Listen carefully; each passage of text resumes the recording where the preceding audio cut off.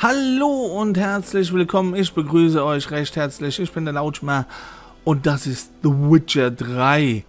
Und in der letzten Episode haben wir das Tutorial durchgespielt. Das hat ein bisschen länger gedauert, weil wir am Anfang ja noch uns die ganzen äh, Anfangssequenzen und Tutorials und bla angeschaut haben. Ja genau, dann kam ja das Tutorial, wo wir den Schwertkampf und alles mögliche geübt haben, auch unsere... Äh, äh, Sinnesfähigkeiten und dies und das. Und äh, ja, jetzt sind wir hier mit unserem guten äh, Hexermeister unterwegs. Verimir, glaube ich, heißt der Gute. Ja, und jetzt gehen wir doch gleich mal weiter, dass wir heute ein bisschen was von der Landschaft mal sehen. Ja, und jetzt haben wir noch eine Frage bekommen von Verimir, was mit uns los war, ob wir was geträumt haben. Und äh, ja, was antworten wir drauf? Ich habe von Kier Mohan geträumt, ich würde lieber nicht drüber reden. Ja, komm, wir reden drüber. Er begann im Gästezimmer in Kermorhen. Ich entspannte mich in der Wanne und neben mir war... Triss? Jennifer. Seltsam nicht. Sie war nie da. Mein Traum wirkte aber ganz echt. Äh, hat sie wegen irgendwas herumgenörgelt? Mhm. Mhm. Mhm. Wirklich lebensecht. Wir finden sie schon.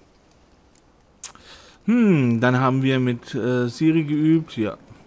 Im Traum ging ich los und suchte Ciri. Wir übten. Das waren noch Zeiten. Hm. Kleine Teufelin. Ich habe Kinder ausgebildet, die schneller und stärker waren. Aber keins hatte ihren Charakter. Er ist nicht gut ausgegangen, oder? Dein Traum. Nein, die wilde Jagd tauchte auf und griff Ciri an. Ich konnte mich nicht rühren, stand da wie angewurzelt. Es war nur ein Traum. Zeit zum Aufbruch. Ciri in meinem Träumen. Vielleicht ist sie in Gefahr, ja? Das könnte man auswählen. Es war mehr. Das ist das Problem. Wenn ich bisher von Ciri geträumt habe, stimmte was nicht. Sie war in Gefahr. Wir haben sie gelehrt, sich gegen alles zu verteidigen. Auch gegen Geister. Zeit zum Aufbruch, jawohl. Es dämmert bald. Brechen wir auf. Warte. Zeig mir den Brief von Jennifer. Vielleicht habe ich da einen Hinweis übersehen. Du hast nichts übersehen. Wir sollten uns in Weidendorf treffen. Das hat sie geschrieben. Inzwischen hat die eine oder andere Armee das Dorf niedergebrannt. Uns bleibt nur ihrer Spur zu folgen. Also... Hör kurz auf zu reden und gib mir den Brief. Was sagt man dazu? Er riecht wirklich nach Flieder und Stachelbeeren. Du wolltest ihn lesen, nicht beschnüffeln. Wir müssen uns sehen. Bald. Weidendorf bei Wüsima. Hm. Keine weiteren Hinweise. Was ist das für ein PS? Ich habe das Einhorn noch. Privatsache, ein Einhorn, das wir mal als Bett benutzt haben. Ach, das geht Ihnen eigentlich gar nichts an. Eine Privatsache. Eine sehr private. Aha, verstehe. Glaube ich jedenfalls. Vielleicht nicht ganz. Und das wird wohl das Beste sein. Mhm. Zurück zum Thema. Wie viel Vorsprung mag Jennifer haben? Zwei, drei Tage. Die Spur ist frisch. Aber sie führt wohl zur Hauptstraße. Da wäre sie schwer auszumachen.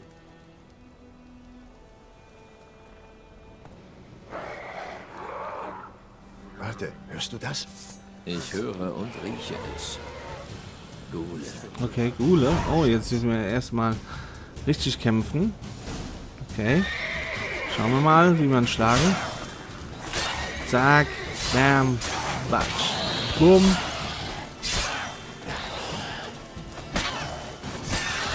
Den haben wir auch erledigt. Jawohl, zack. Mehr, du Drecksack. Na, da ist noch ein Ghoul. Oh, da war, na, den haben wir noch nicht ganz gehabt. Oder wollte ich mal was ausprobieren, aber das hat nicht ganz funktioniert. Wenn Armeen durchziehen, folgen ihnen Nekrophagen.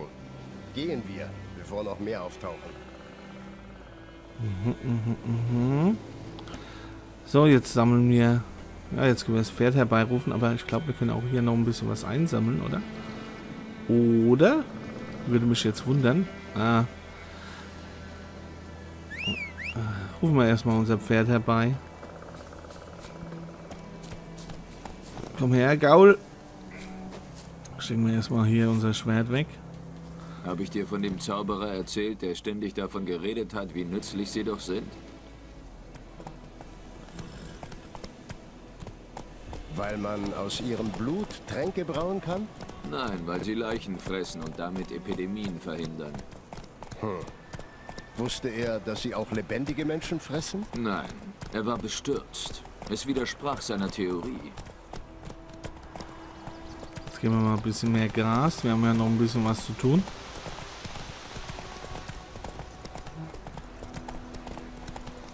Komm, jetzt galoppieren wir sogar mal. Der Krieg läuft nicht gerade zu unserem Vorteil.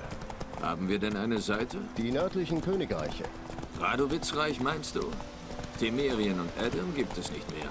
Radowit hat versprochen, die alten Grenzen wiederherzustellen, sobald er den Krieg gewonnen hat. Und das glaubst du? Irgendwas muss man glauben. Das hält einen aufrecht.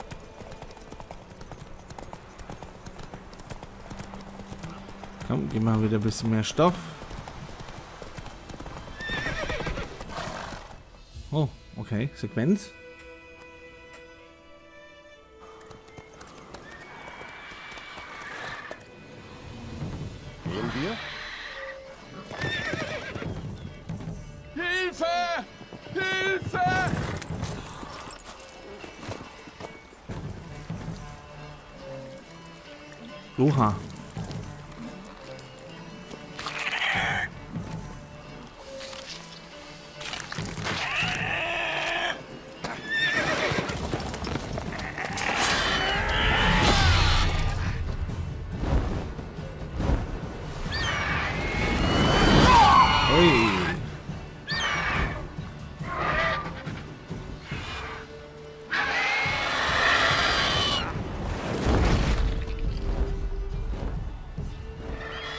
Sein Lunchpaket nimmt er mit.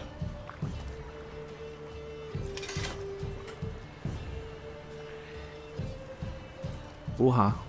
Das ist mehr als nur ein Kratzer. Ist er weg? Ja. Komm raus.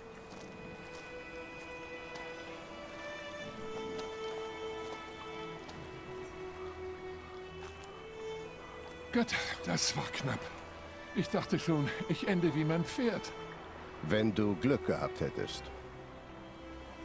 Dein Pferd ist sofort gestorben. Aber Greife spielen gerne mit ihrer Beute. Fressen sie bei lebendigem Leibe auf. Aha. Ihr wollt wohl eine Belohnung haben, nehme ich an. Hm, du schuldest uns nichts. Ein paar Kronen wären nicht schlecht. Ach komm. Wir sind mal gutmütig. Du schuldest uns nichts. Du warst in Not, wir haben geholfen. Und da heißt es, Hexer wären herzlos und dass sie ohne Bezahlung keinen Finger krumm machen. Es heißt auch, Mäuse entstünden aus faulendem Stroh. Zurück zur Spur? Wie gesagt, die führt zur Hauptstraße und endet dort. Sie ist verwischt. Sucht ihr jemanden? Hm, ja, eine Frau. Was schert es dich? Ähm, ja, eine Frau. Ja, eine Frau, mittelgroß, lange schwarze Haare. Hast du so jemanden gesehen? Nein, aber hier in Weißgarten gibt es eine Herberge, die einzige weit und breit. Da kommen viele Reisende durch. Vielleicht erfahrt ihr etwas. Außerdem, äh, die Wirtin ist meine Cousine. Sagt ihr, dass Bram euch schickt. Sie wird euch wie ein Familienmitglied behandeln.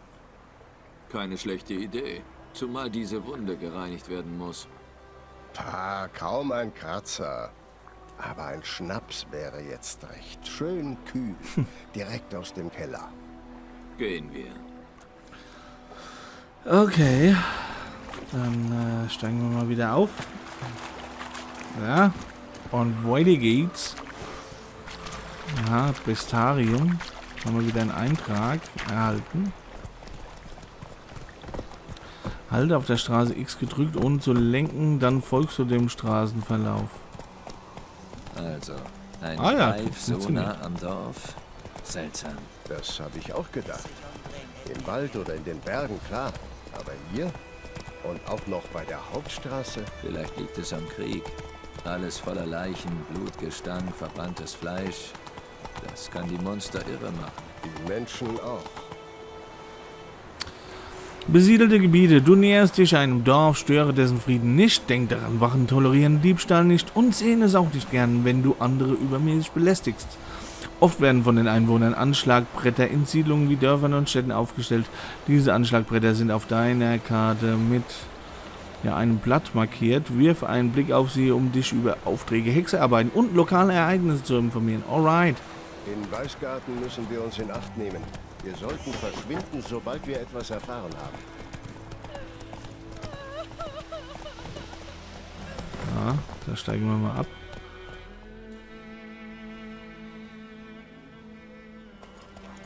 Halt!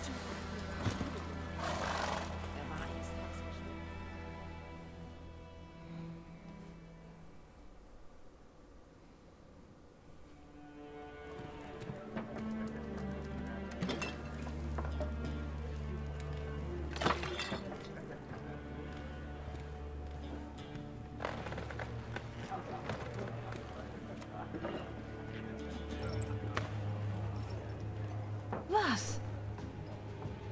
Nimm das runter, sonst gibt's Ärger. Das ist ein Waffenrock. Die temerischen Lilien, die hängen da zurecht. Du bist nicht mehr in Temerien, Alter, sondern in Nilfgaard. Du kannst mich mal.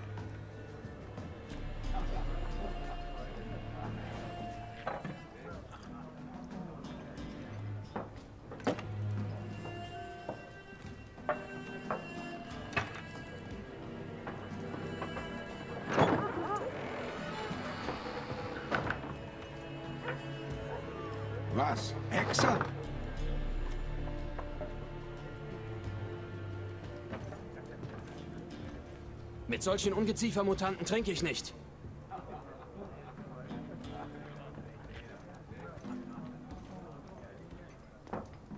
Tut mir leid wegen dieser Gauner. Macht nichts.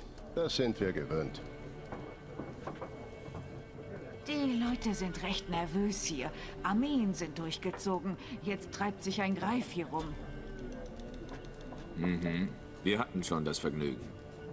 Er hat deinen Verwandten Bram angegriffen. Bram? Wie geht es ihm? Er lebt. Lässt dich grüßen. Werte Hexer, Essen und Trinken gehen aufs Haus. Was kann ich euch bringen? Hm, ja, Dialoge handelt durch Optionen mit ja, dem Gold-Section markiert sind. Äh, also, ja, wird ein Handelsfenster geöffnet, okay. Äh, wir suchen eine Frau, ja.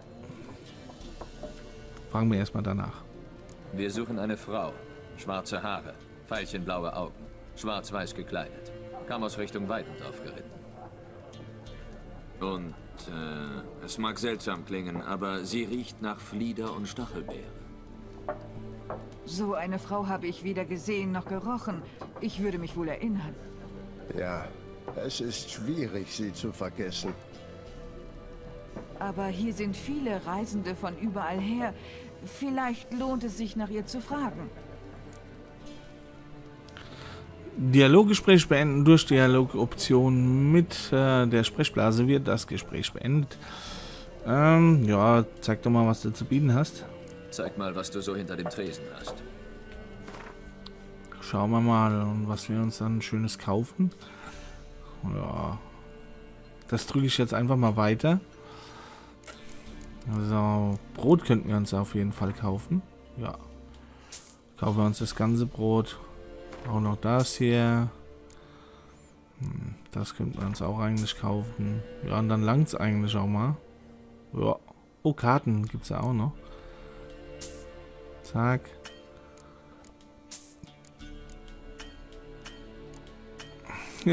Na gut, wir lassen es jetzt erstmal. Jetzt haben wir auch genug Geld ausgegeben.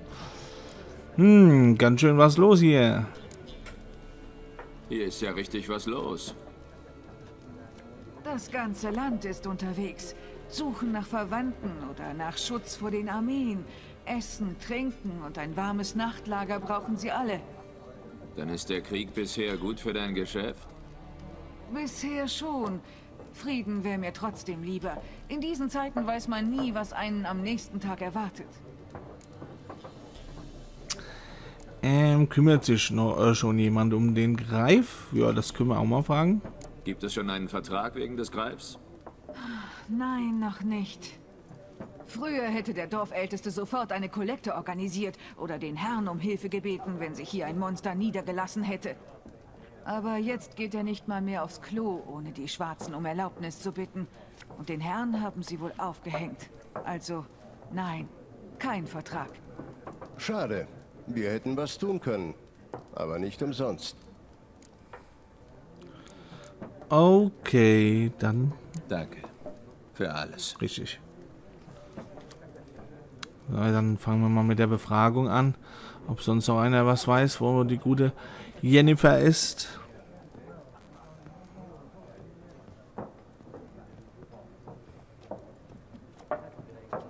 Soll ich dir beim Verbinden helfen? Bitte. So taterig bin ich noch nicht.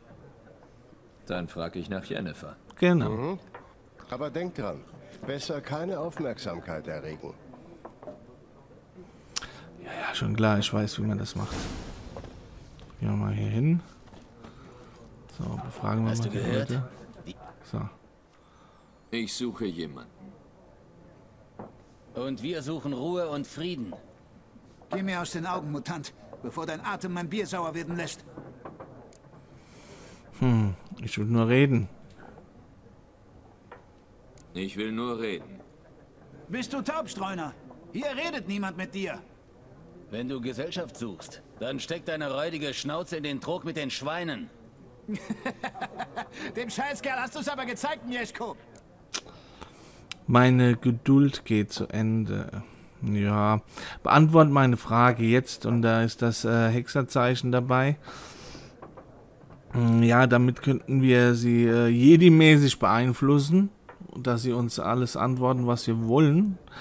Ähm, aber wir sollen ja keine Aufmerksamkeit erregen, also machen wir erstmal, meine Geduld geht zu Ende. Ich verliere gleich die Geduld. Dann rollen eure Köpfe. War nur Spaß. Wir wollen keinen Ärger. Habt ihr hier eine schwarzhaarige Frau in schwarz-weißer Kleidung gesehen? Wir wissen nichts, Meister. Lass uns zufrieden. Ach, guck mal da.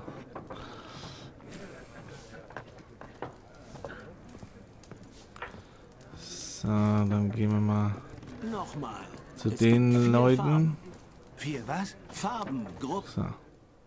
Was für eine Zeitverschwendung. Die Erde umkreist die Sonne, bevor du diese Regeln verstehst. Hast du kurz Zeit? Warum nicht? Aldert Geert, Assistenzprofessor für zeitgenössische Geschichte an der Akademie Ochsenfurt. Ach du liebes. Gerald von Riva, ausgebildeter Hexer. Ich suche nach einer Frau. Lange Haare, schwarz-weiße Kleidung. Hast du so jemanden gesehen? Natürlich nicht. Im Gegensatz zum Pöbel weiß ich, dass die Reiterin des Krieges ein Hirngespinst ist. Reiterin des Krieges? Wer soll das sein? Reiterin des Krieges? Worum geht es da? Um ein Omen, sagen die Leute. Eine schöne Phantomfrau reitet nachts durch die Felder. Sie entspricht deiner Beschreibung. Armeen folgen ihr und ihren Weg zu kreuzen bedeutet Unglück.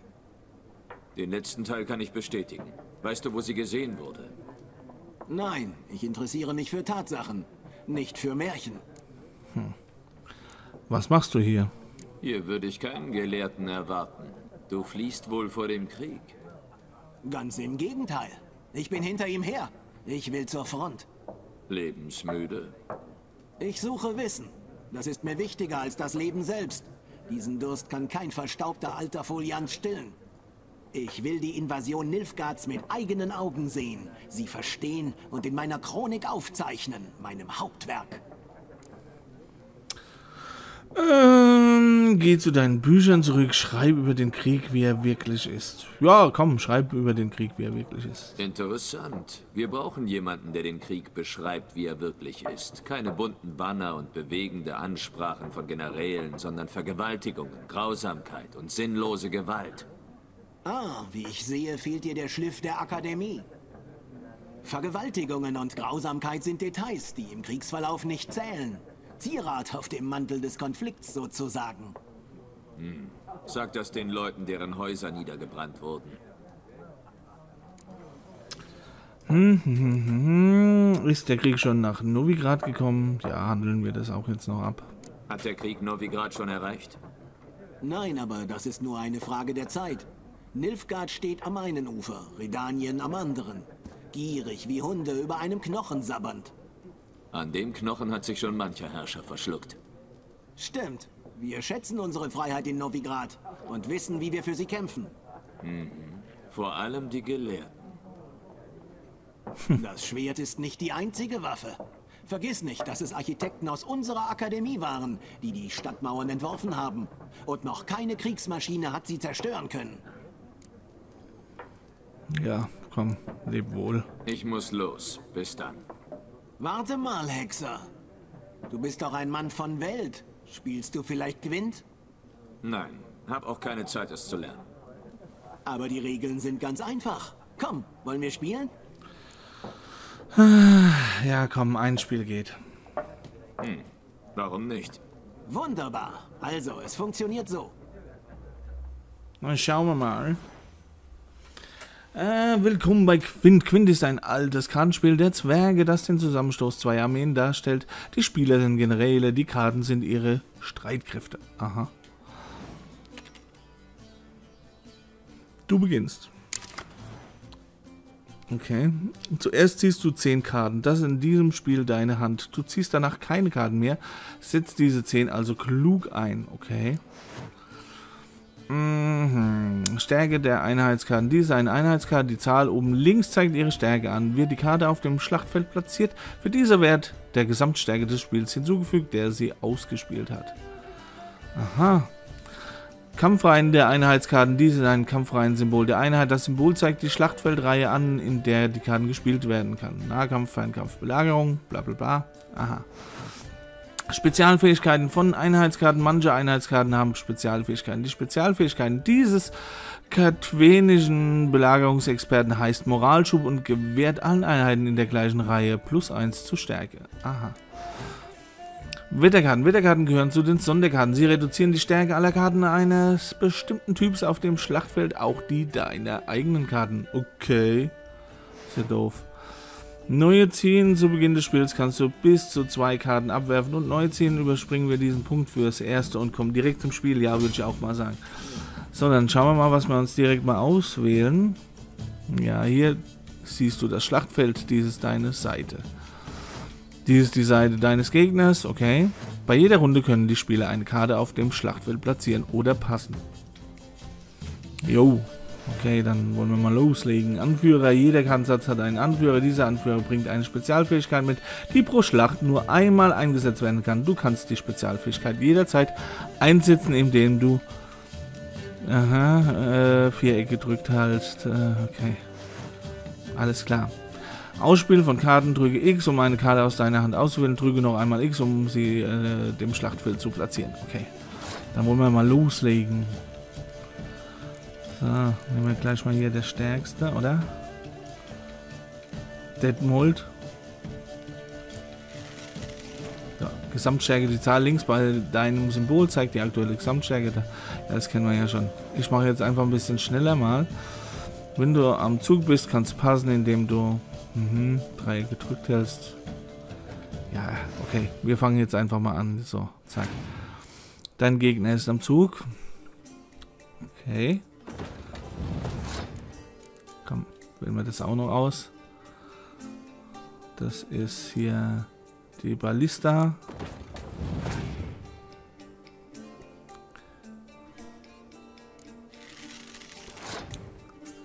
Jetzt wählen wir äh, hier diesen Herrn aus, Siegfried von Dennisley.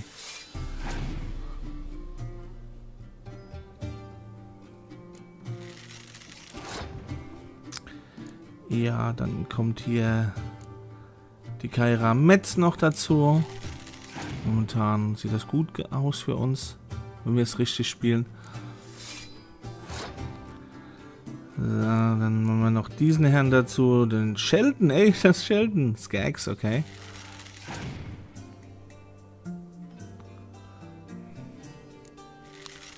So, wir haben noch diese Dame hier. Das sieht ganz gut aus. Die nehmen wir doch direkt. Die Sabrina Klevisik.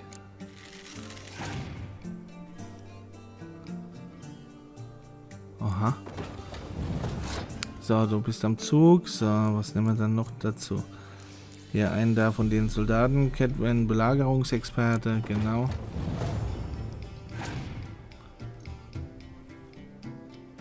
Aha. So, dann kommt der noch dazu. Zack, 33, okay, mal schauen, was er jetzt noch bringt. Okay, er hat da ein bisschen bessere Soldaten als wir. Äh, ja, bringen wir mal hier da die Kälte dazu. Klirrende Kälte, ja. Schauen wir mal. Oh, der hat immer noch Karten. Verdammt. Jetzt habe ich nur noch das hier. Strömender Regen.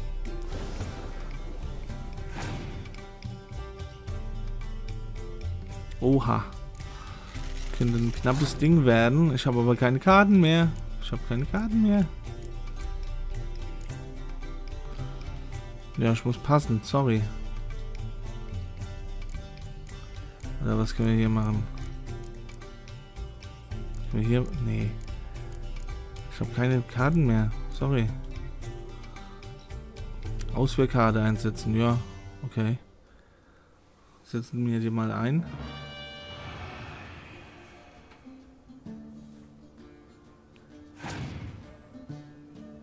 Oha. Lebensedelsteine. Die Rundenverlierer verliert auch ein Lebensedelstein. Shit, das haben wir verloren. Ja.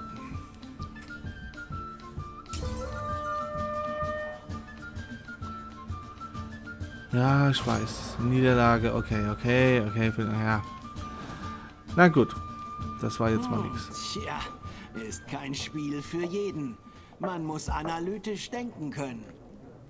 Wenn du mal in Ochsenfurt bist und gegen einen echten Meister spielen willst, frag nach Stjepan.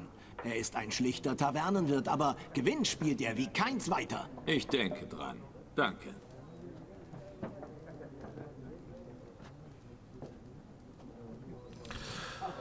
So, da ist noch einer zum Befragen, aber ich würde sagen, den befragen wir in der nächsten Folge, denn wir haben uns jetzt wieder schon zu sehr mit dem Kartenspiel verweilt, ne? Und jetzt haben wir schon fast wieder eine halbe Stunde rum, ne? ja, so geht's, ne? Aber das ist The Witcher. Jo, ich würde sagen, wir sehen uns bei der nächsten Episode dann, äh, die dritte ist das schon. Ja. Und dann geht es weiter mit The Witcher. Bis dahin, euer Lautschmer, auf Wiedersehen.